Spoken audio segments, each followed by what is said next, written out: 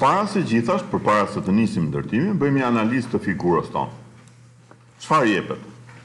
Jepet kjo përmasa 190, që na lejon të ndërtojmë gabaritet e figurës, 20-24 përsëri.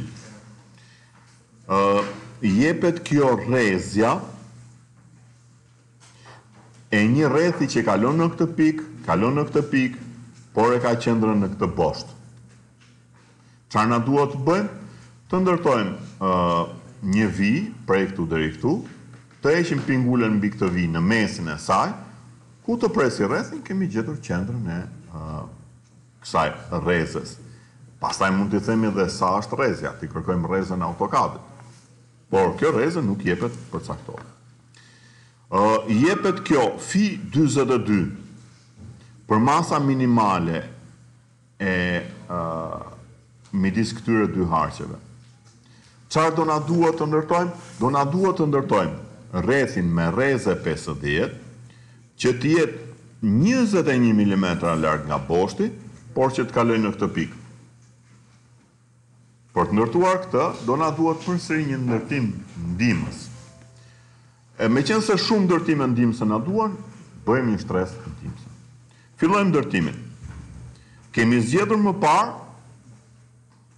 Acadiso, tani thjesht kontrollojmë limits, Zero zero katërqind e njëzet dyqind e nëntëdhjetë e shtatë grid dhjetë është kjo japim snap më falni limits no nuk dua rrjet jashtë limiteve zoom all kjo është fleta a katër ndërtojmë dy shtresa shtresa e parë akse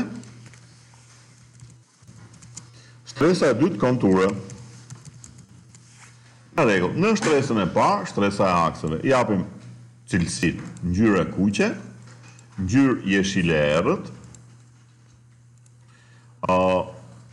vija center dysh, load center dysh, Center dysh ia japim akseve, konturet janë me vija të vazhduara, konturet janë me trashësi maksimale, zgjedhim zero gjashtë, akset me trashësi zero njëzet e pesë. Ok. Kaq për përcaktimet e shtresave, ndërtojmë në shtresën akse. Bëjmë ndërtimin e parë. Në përgjithësi akset ndërtohen me orto-on. Pra, ndërtohen horizontale ose vertikale. Bëjmë një aks vertikal, më falni një aks horizontal, bëjmë një aks vertikal. Në pikën e prerjes së tyre ndërtojmë këtë rreze tridhjetë e dy. Ndërtojmë rrethin. në shtresën konturë ndërtojmë rrethin me qendër këtu me rreze nuk na duhen më ndërtimet ortogonale i çaktivizojmë me F tetë ose klikojmë aty rreze tridhjetë e dy ok u ndërtua ky rrethi me rreze tridhjetë e dy aktivizojmë trashësinë e vijës për të kuptuar çfarë të bëjmë modify lengthen në mënyrë dinamike zgjasim Me sy, paksa, paksa. Këtë e shkurtojmë paksa. Në rregull. Shofim këtë përmasën njëqind e nëntëdhjetë. Është fundi i kësaj doreze. Bazuar në aksin këtu. Offset njëqind e nëntëdhjetë. Një kopje paralele të kësaj në këtë anë. Kjo është një vijë Konture. Atëherë i themi këtë, ma ço te konturët. Ndërtimin do ta vazhdojmë te konturët. Kemi një përmasë njëzet, një përmasë dyzet e katër. Ofset, njëzet, ofset, dyzet e katër. Rregull, kemi ndërtuar këtë vijën, këtë vijën dhe këtë vijën. Tani kemi këtë përmasën, fi tridhjetë e katër. Mund ta bëjmë kështu. Offset shtatëmbëdhjetë. Një kopje paralele të këtij aksit lart, një kopje poshtë. Ë këtë dhe këtë m'i ço tek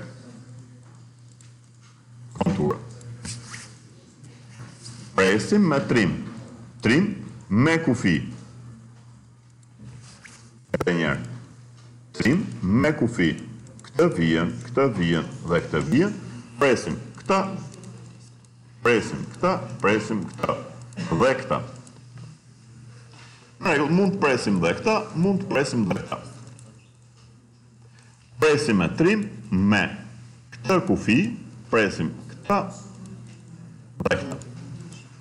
Tani shohim këtë përmasën fi gjashtëdhjetë e katër që presupozohet që ky është një trup cilindrik, kurse kjo rrezja është një rreze sferike.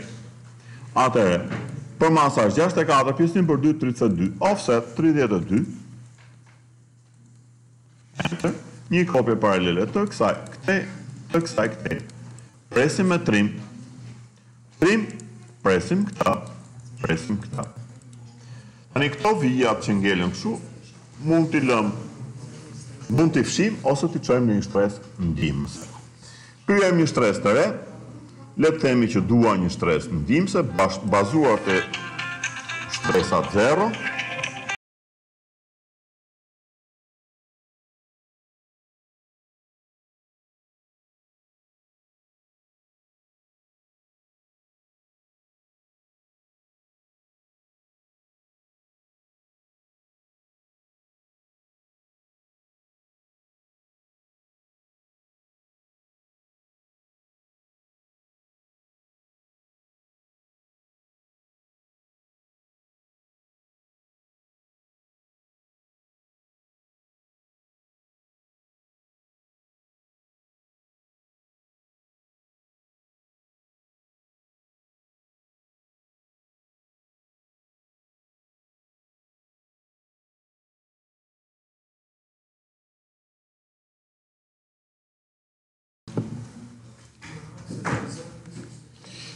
I kaluam këto dy ndërtimet ndihmëse në një shtresë ndihmëse. Me idenë që këtë shtresën do ta bëjmë off, pra do ta çaktivizojmë.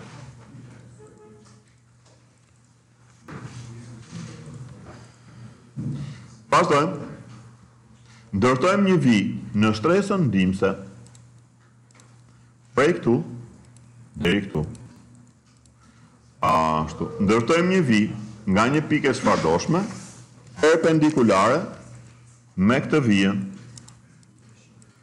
E spostojmë këtë vijën move nga mesi i saj ose nga një pikë e çfarëdoshme në mesin e kësaj aktivizojmë gridin. Në rregull? Shikoni, kam ndërtuar përmesoren e këtij segmentit. Përmesorja e segmentit pritet me boshtin në këtë pikë. Ndërtojmë një rreth. Jo në shtresën ndihmëse, por në shtresën konture, ndërtojmë një rreth me qendër në këtë pikë që të kalojë nëpër këtë pikë ose këtë pikë ose këtë pikë ose këtë pikë. Duke qenë se kjo është përgjysmorja e këtij segmenti, normalisht kalon nëpër dy pikat e kësaj. Duke qenë se kjo është simetrike, kalon dhe nëpër dy pikat e tjera. Trim.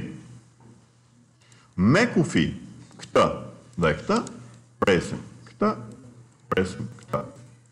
Në fund fundit mund ta pyesim dhe AutoCAD-in, po këtë rrezën sa e ke? Klikojmë dy herë, nuk ma afishoi, properties, rrezja është tridhjetë e dy, njëqind e shtatëdhjetë e një. me përafërsi. Në rregull? Kjo është rrezja e këtij harkut. Po ç'rëndësi ka? Qendra ndodhet në pikëprerjen e kësaj përgjysmores përmesores së segmentit me aksin.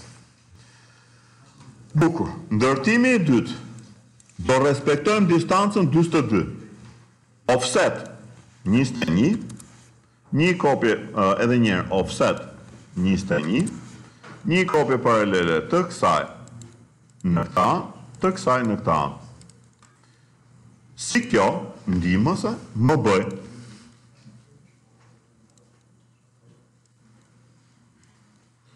Këta dhe këta. Do të ndërtojmë rrethin që do të jetë tangent me këtë V, por që do kalojë nga kjo pikë. Si bëhet? Sa është rrezja e kësaj 50. Ndërtojmë një rreth, rreth me qendër këtu me rreze 50. Edhe ky është një ndërtim ndihmës. Ndërtojmë një rreth me qendër këtu me rreze pesëdhjetë. Japim një offset pesëdhjetë kësaj, me këtë e dua tangente, dhe kësaj, me këtë e dua tangente. ashtu. Shikoni që ka dy mundësi zgjidhje. Njëra është kjo, tjetra është kjo. Në rastin e parë, ndërtohet rrethi që kalon nga kjo pikë dhe është tangente me këtë pjesën e pasme. Në rastin e dytë, kalon në këtë pikë dhe është tangente me këtë vijë në pjesën e përparme. Zgjedhim të dytën. Atëherë, në shtresën konture, ndërtojmë rrethin me qendër këtu me rreze pesëdhjetë. Meqenëse kjo është pesëdhjetë larg, kalon në këtë pikë. Meqenëse kjo është pesëdhjetë larg, është tangente me këtë. Ndërtojmë rrethin, me qendër këtu, me rreze pesëdhjetë. Bukur. Tani, ndërtojmë vijën, me opsionin tangent, çaktivizojmë gjithçka, dhe lëmë vetëm tangenten.